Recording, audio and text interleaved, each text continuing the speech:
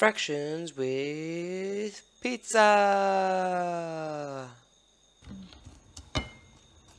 One whole equals two halves.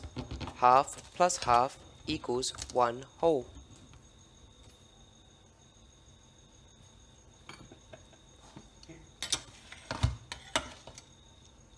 Two halves equals four quarters.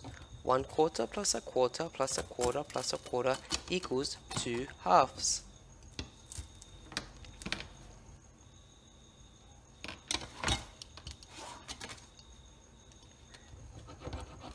Four quarters equals eight eighths.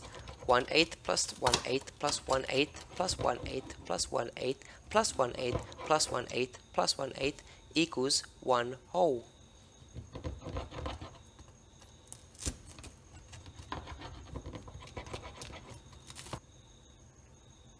Let's review.